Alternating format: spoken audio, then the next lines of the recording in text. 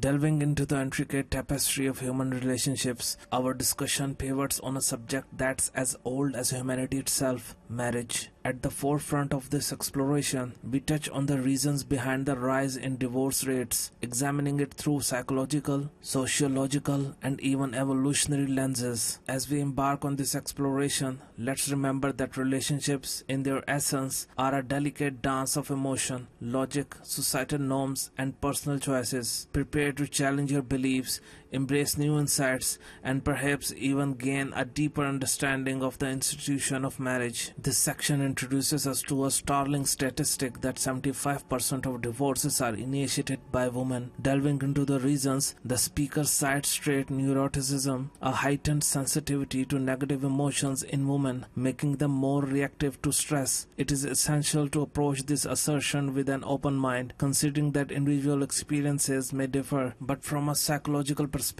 it's crucial to remember the myriad of factors influencing a woman's decision to divorce. The narrative delves deeper into the implications of heightened sensitivity to negative emotions. This doesn't just impact women but their partner and relationships too. The speaker also emphasizes individual variances, ensuring we remember that these are broad generalizations and not universal truths. Jordan Peterson paints a bleak picture, suggesting that divorce can have catastrophic effects, particularly economically. While there is no denying that hardships that divorce can bring, it's essential for beginners to understand that the narrative here is not universally applicable. See, there's some there's some additional problems with divorce that people don't really grasp when they're young. Like the idea that you can be divorced once you have children, that's kind of a stupid idea because you can't. You can you can find a limited substitute for your initial freedom. But if you have kids and you try to get divorced, the probability that that's going to demolish your life is very, very high. First of all, it's incredibly expensive. So one or both of you is going to come out of that poor. And your market value has declined.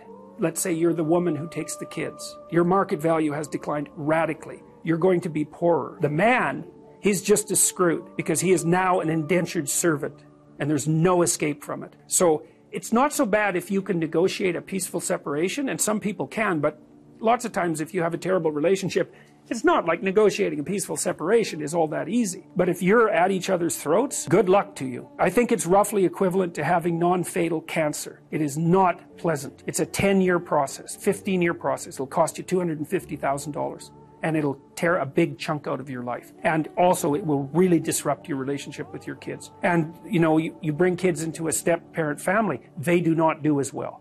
Step parents are not as good parents as biological parents, and the data on that is clear. Now, obviously, there are exceptions because there are terrible biological parents and there are wonderful step parents. But if you look in aggregate, it's not that easy to care for children. You need everything you can binding you to them. And if there's someone else's children, mostly they get in the way of the person that you love, right? Well, if I'm, let's say you have a child, I'll be right out. Let's say you have a child and I want to go out with you. Every second you spend with that child is the second you don't spend with me. And, and there's going to be a price for that. I'm not going to be happy about that. And, and if I have a child, you're going to feel exactly the same way. You might say, well, no, I love children. It's like, yeah, yeah, sure, sure you do.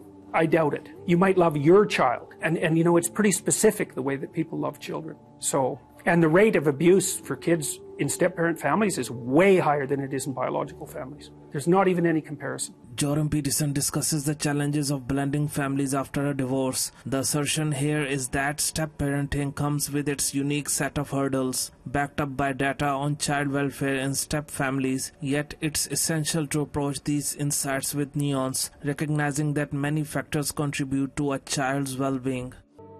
The essence of our discussion orbits around the multifaceted intricacies of relationships, with marriage at its epicenter, from the roles that evolutionary psychology might play in the dynamics of modern relationships to the tangible and intangible repercussions of divorce. The narrative offers a panoramic view of the human experience in love and commitment. At its core, the discussion underscores the importance of communication, compromise, and understanding. While we may be products of our evolutionary history, we are also authors of our stories, capable of redefining norms and crafting relationships that reflect our individual truths. On this journey, it's essential to approach these insights with an open heart, drawing from them what resonates and always being willing to forge our path. As relationships continue to evolve in the face of changing societal norms, may we always strive for understanding, growth, and genuine connection.